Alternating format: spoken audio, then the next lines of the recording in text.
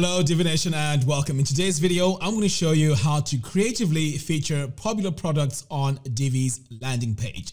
This is the final result we're aiming to achieve. So without wasting a lot of time, let's dive in and let's get started. Alright, so the first thing we're going to do here is to create a brand new page. So I'm going to come over here to pages and click on add new. We're going to name our page. Now, in your case, you can name this whatever you want, but I'm just going to call mine main landing. I'm going to click here on use Divi Builder. So for this design, we're going to start everything from scratch. So I'm going to click on start building. Right. So over here, I'm just going to close this for now because I need to make some adjustments to my main section. So I'm going to click here on my section settings, go to design, and then I'm going to come all the way down here to spacing and add my padding. And this is going to be 8VW, both to the top and the bottom. So I'm going to save this and then I'm going to click on this plus button to add my columns. So here I'm going to start with a single column. And before we add any modules in there, I just need to uh, go in and make some adjustments as well. So I'm just going to close this and go to my row settings. And here I'm going to click on design, sizing, and I want to activate use custom gutter width and set this to one. Now the gutter width is the space between the columns. So we want to make sure that this is set to one. Next, I'm going to set my width and here my width is going to be 85 VW and I also need to set up my maximum width and this is going to be 100%. So once we're done here, I'm going to click on save and then over here we need to add our Woo image module to column one. So I'm going to click on this plus button and then I'm just going to search for Woo image and here it is. I'm going to select it so right now, as you can see, it's showing my default image here for a product that I created before. So what we need to do is to, let's save this for now and save the page. And then we are going to go and create our product now. So I'm going to click here on dashboard and I'm just going to go all the way back to my dashboard here and set my product. So on the products here, I'm just click, I'm just going to click on add new. And for my product name, I'm just going to choose organic scrub. There we go. Uh, it needs a product description. So let's go ahead and add that. I'm just going to use my Lorem text over here. So I'm just going to copy a bunch of text and then I'm going to paste it here. And over here now, I need to add my image. So I'm going to set my product image and my organic scrub is, right, let's go with this one here. I'm going to set my product image. So again, I'm going to set my price here. I'm just going to say $67 and I'm just going to add a short description as well. So pretty much that's all I need to add here. So I'm going to go ahead now and publish this. So when I go now to my main page that I'm designing, I can go in and select this organic scrub. So back over here now, it's going to refresh this. And now we have our product.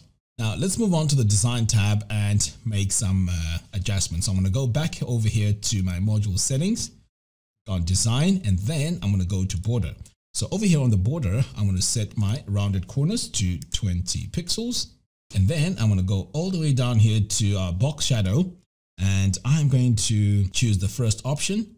And then I'm also going to set my blur strength. So my box shadow blur strength here is going to be about 50. So let's go ahead and add it here. Because by default, it's set to 18 and um, that's not enough. Okay, so now I've set it to 50. The next, I'm going to go to my shadow color here. And uh, I think this shadow color looks okay. So I'm going to leave that as it is. Now let's add our title to this column. So I'm going to save this. And then I'm going to click on this plus button. And I'm going to search for title and here it is.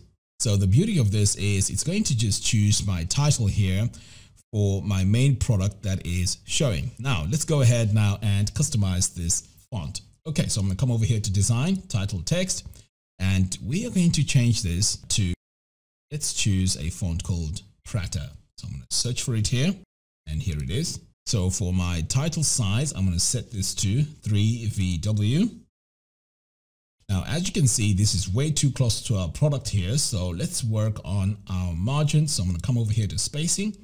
And then I'm just going to add a margin of 7 VW and a bottom margin of 2 VW. So I'm going to go ahead and add it here. And while we're here, let's add our padding I mean our left and right margin of 2VW as well. So by default here, it, it uh, defaults to pixels, but we want VW. There we go. So that's much better now. So the next step is to add our Woo description. So I'm going to save this, scroll the way down here, and let's add our Woo description. So again, I'm just going to search here so that I can find it easier. Choose my description. Now let's add our font. So I'm going to come over here to design, text. I'm going to change this to Montserrat. So I'm going to search for it. And by the way, all these fonts are free to use. There we go. So I'm going to go ahead and select that. And then I need to set my text size. So I'm going to scroll over here and set this to 0.8 VW. Next, I'm going to set my line height and my line height here is going to be 1.8 EM. Right, so, so far everything is looking all good. Now let's add our margins and give this some breathing space. So to do that, I'm going to come all the way down here to spacing and I'm going to set my margin all around to 2VW. So notice that I'm activating this chain so that my value is added to all the sides. Right, so I'm done here. I'm going to save. Next, I'm going to add the Woo add to cart. So again, I'm just going to search for add to cart. There we go. Select that. And we also need to customize this so that it matches with our design. Okay, so what we're going to do here is we are going to move on to the design tab and let's start with our fields. So fields background color, I'm going to set this to white. So I'm going to come over here to recent because I know I used white before. And then I'm going to add my field text color. Now, if you want to use the exact same colors as I'm using throughout this tutorial, I will leave a link to the post in the show notes below. All right, so let's move on to the fields font. So I'm going to scroll all the way down here and uh, fields font. Let's change this to Montserrat. There we go. So the reason why we're doing that is because we just want to make sure we have consistency throughout our design. Okay, so let's go to our fields border width. So that's um, that's also very important. So let's go to our border here and uh, making sure this is set to zero. Now let's add our fields border color, paste it in here. And as I mentioned a moment ago, I will leave a link to the post in the show notes below. Now over here on the fields, I need to have add a hover. So I'm going to click on this arrow pointing up, click on the hover tab, and I'm going to change this to one pixel. So you can see now on the hover, that's going to show our border. So I'm just going to switch back over here.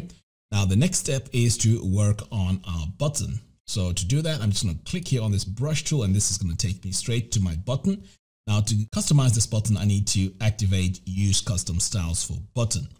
Right, so the very first thing I need to do is to set my button text size. So I'm going to set this to 1VW and then I need to also set my button text color and I'm going to click on this eyedropper tool and paste my color in here and my button background color needs to be white so I'm going to click here and go to my recent colors and choose white. Next for my button border width, I just need to remove that and set this to zero. Now let's add our button border color and I'm going to use that dark gray.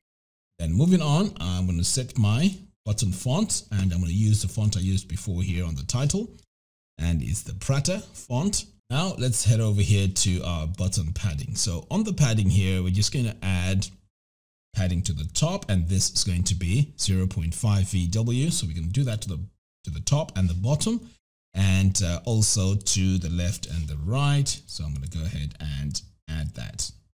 So notice again, I'm using this chain to add the same values to both sides. All right, so the next step is to head over to spacing. So I'm going to scroll all the way down here and the reason why I'm coming over here is because I need to add a bottom margin of 7 VW and a left and right of 2 VW. So I'm going to activate my chain. So now I'm going to add a border. So I'm going to come over here to uh, borders and select my bottom one here. And uh, I'm going to set this to one pixel. And I'm also going to add my border color here. I'm going to paste it in here like that. So pretty much that's all I need to do here. I'm going to save.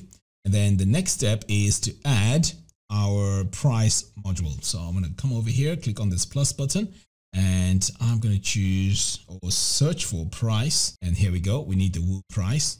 Go ahead and select that. And this is fine because it is uh, choosing our latest product. But if you need to specify, you just come over here and choose organic scrub and that will uh, choose the actual item. So here we have the price, but of course we want to customize that price and make it look the same as our design that we have. Okay, so let's head over here to our design tab and click on price text. So I'm going to change this to Montserrat and the font weight here, we're going to set this to light. And for our color, I'm just going to paste my color in here. And for the price text size, I'm going to set it to 2VW. And then on my line height here, I'm going to set this to 1.8 EM. Now let's head over here to our margins. So I'm going to click on spacing and on the margins here, I'm going to set a bottom margin of 5 VW. And then I'm also going to set the left and right. And this is going to be 2 VW. And notice I'm activating my chain one more time. So pretty much this is all the content that we need for our product. So what we need to do now is to go back over here to our row settings. So what we need to do is to clone this design twice. So I'm going to clone like that. And now we have three products. So once we've cloned this, I'm just going to save this. And then over here now, I'm going to change my column structure by clicking on this um, little icon. And the column structure that we need is this one right here. So I'm going to go ahead and select it. And notice that this has immediately changed there. So as you can see here, we have all the same products here. So what we need to do is to come all the way back over here. In fact, before we do that, let's just make sure we save so that uh, we don't lose all our settings. Right, so what I'm going to do now is to go back and I'm going to add more products. I'm just going to hit update and I'm going to go back over here to add new, to add a new product. And this one here is going to be a gift basket. I'm going to add some description text in here. I'm going to add a price. And uh, over here, we're going to add a product image. So our gift basket here is going to be this one here. So I'm going to set it. And pretty much that's all we need to do and publish it. Now we also need to add one more. And uh, this time hit add new. And uh, let's just call this soap. Add our description text. And then over here, we're going to choose our product image. And we're going to go with this one here. Set product image, publish. Okay. So now that we've added three more products, we're going to come back over here and we're just going to refresh because what's important now is to go in and change this dynamic content to match our products that we've just uh, added. So over here now, I'm going to go back in and uh, on the product, I'm going to click on this drop down and choose my gift basket. There we go. And then uh, I'm going to save that. And then on the soap, I'm going to change this as well. Click on this gear icon, choose my gift basket, save that. And then moving on, go in here. I'm going to change this to gift basket. I'm going to save that. And then finally on the price, go in and match this with my gift basket. So you need to do the same with um, one of the products there, the soap, because as you can see, we have two soaps. So just go in and change the details there. All right, so the next step now is to go to our Woo title for the second column. So I'm going to click here on this gear icon. So what we need to do is to go into design, spacing, and uh, we are going to add a left and right margin and set this to 5VW. So I'm going to save that. Next, let's head over here to uh, add to cart. So I'm going to click here on this gear icon, design. And again, I'm going to go to spacing and over here, we need to set this to 5VW as well. I'm going to save that and we're going to do the same to the pricing. Click here on this gear icon, design, spacing, and again, set this to 5VW. And that's the beauty of adding this um, chain icon because it allows us to add the values to both sides. So I'm going to save that. So now that we have all our modules in place, let's go ahead and style our columns. So I'm going to come back over here and I'm going to start here with the very first uh, column. So to enter my column structure, I need to click on this gear icon And I'm going to start with my first column and add my background color. And here we're going to set this to white. So I'm going to go to my recent colors, add white to my background. Next, I'm going to come over here to design, border, and I'm going to set 20 pixels here for my border. And this is going to be applied to all the sides. Next, I'm going to add a shadow to my um, first column here. So I'm going to choose my first option here for my column. And for my vertical position, I'm going to set this to 22 and my blur strength is going to be 150. And then for my color, I'm just going to come over here and paste my color within the brackets like that. Now, you know what? For this, uh, we're going to add a hover on the shadow color here. So I'm going to click on this uh, arrow that's pointing up, click on the hover tab, and then since this is going to have some transparency, I'm just going to play around with this slider here to bring my RGBA values and then paste my value between the brackets like that. So that's only going to happen on the hover state. So the next step now is to go to our filters and we are going to play around with the blur. So over here, we're going to set this to 4 pixels and you can see now that my item has been blurred. But on our tablets and phone, we don't want that blur. So I'm going to set this to 0 and 0 for the phone as well. So I only want this blurred on the desktops. So what we're going to do next is uh, we want that when you hover over it, it removes the blur. So I'm going to click again on this arrow and then on the hover, I'm going to set this to zero. Then I'm just going to go back over here. So every time someone hovers over here, this is going to show all the information. Next, I'm going to come over here to the advanced tab and then click on position because here we need to set our Z index to 9. And then while we're here, we need to set our hover Z index to 12. There we go. Now, while we're here, let's head over to our design and go to transform because what we need to do here is to go into transform translate. And next we need to break this chain here because we don't, uh, we don't want our values to be applied to the same side. So I'm going to start off by adding 7VW to the right side and 2VW to the bottom. So this is just readjusting our positioning. So pretty much that's all we need to do here. I'm going to save and save one more time. So the next step is I need to apply the similar settings that I've applied over here to the left all the way over here to the right. So what I'm going to do is I'm going to copy my item styles and paste them to the third column. And then I'm going to go into the third column here and I'm going to adjust my transform translate. So I'm going to come over here to design, transform, choose transform translate, and over here, instead of having 2 VW, I'm going to set it to minus 2 VW. And I also need to go in and adjust our Z index because this needs to be behind this image here. So let me just go back over here and let's start working on column 2. So on column 2, I'm going to go to design and we need to go to our box shadow. So the box shadow that we need here is the, uh, the first option and uh, we're also going to go in and add our vertical position. So here on our vertical position, we're going to set this to 22 and then our blur strength to 150.